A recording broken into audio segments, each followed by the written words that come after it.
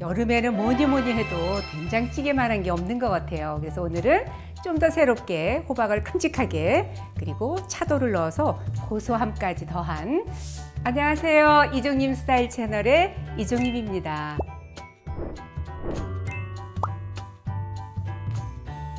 차돌을 넣어서 고소하면서도 아주 푸짐하게 드실 수 있는 차돌 호박 된장찌개를 오늘 준비를 했습니다.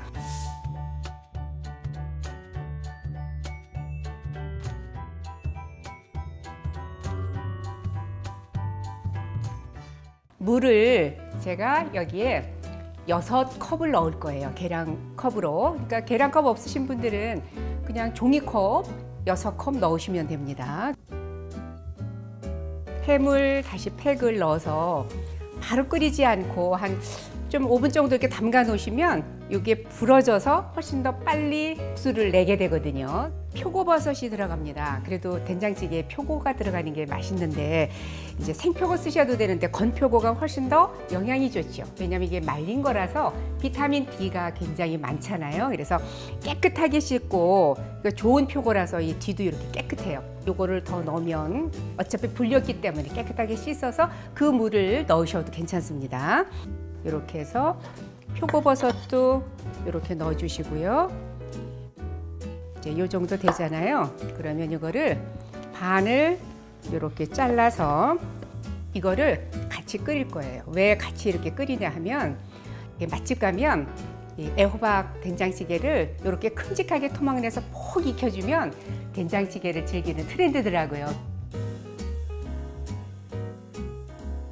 된장찌개 들어가는 양파는 이렇게 이 정도로 써시면 돼요. 된장찌개에. 된장찌개 들어가는 거는 너무 얇게 써는 것보다 조금 도톰하게 썰으셔도 돼요. 예. 송송 썰으셔도 되고 약간 어스 썰으셔도 되고요. 홍고추. 홍고추는 있으시면 좀 넣어주시고요. 없으실 때는 안 넣으셔도 괜찮아요. 청양고추예요. 근데 청양고추 매콤해서 싫으신 분은 풋고추 쓰셔도 됩니다. 감자는요. 한 개 정도 쓰시면 되고요. 그냥 요거는 한 0.5cm 두께로 이렇게 썰어 주시면 돼요. 이렇게 크니까요. 옆으로 반 자르시고요. 3등분 정도. 그러니까 너무 크지 않게 썰을 거예요. 이것도 다른 거랑 비슷하게. 고기를 한번 이제 구워서 넣어주시면은 기름기를 좀 빼서 넣어주시는 거기 때문에 좋더라고요. 그래서 기름 싫어하시는 분은 저처럼 이렇게 구워서 넣으시고 그렇지 않으신 분들은 차돌박이 그냥 넣으시면 되니까 네. 이렇게 구우면 차돌에서는 또 불맛도 나기도 해요. 네, 이제 20분 끓인 육수를 확인해 보겠습니다. 네, 20분 끓인 다시 팩만 건져내시면 돼요. 네. 직접 만든 된장입니다. 이거는 저희가 작년에 만든 된장이에요. 네. 근데 이제 집된장이 아니고 그냥 시판용 된장 같은 경우는 조금 더 여유 있게 넣으셔야 돼요. 네. 이 된장도 충분히 으깨 주셔야 돼요. 이거 다 버리면 아깝잖아요. 한 스푼 정도 넣어 주시고요. 다진 마늘, 고춧가루는요. 너무 굵지 않은 걸로 쓰시는 게 좋고요. 고춧가루는 제가 티스푼으로 하나 정도 넣었어요. 여기에 마지막으로 들어갈 재료가 아까 차돌